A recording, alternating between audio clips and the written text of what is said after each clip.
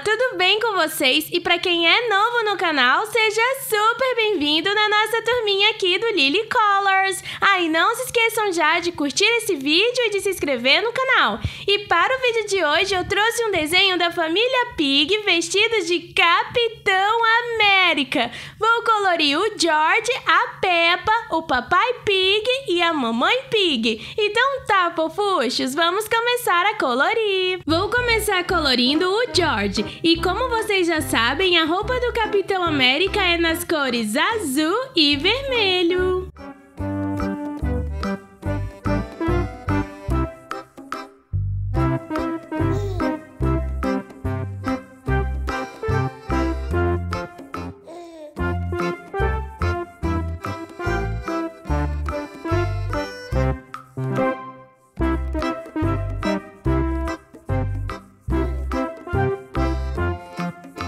Essa é a fofucha da Peppa.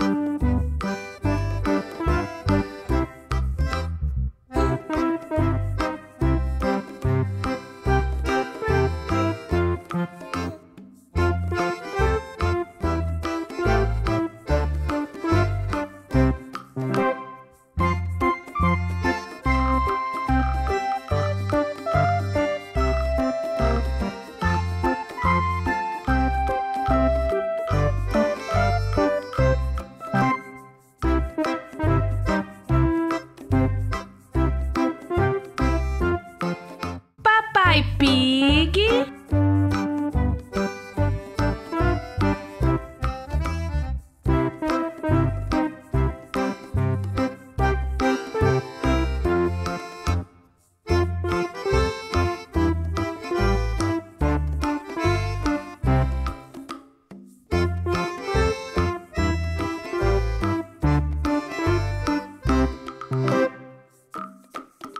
Mamãe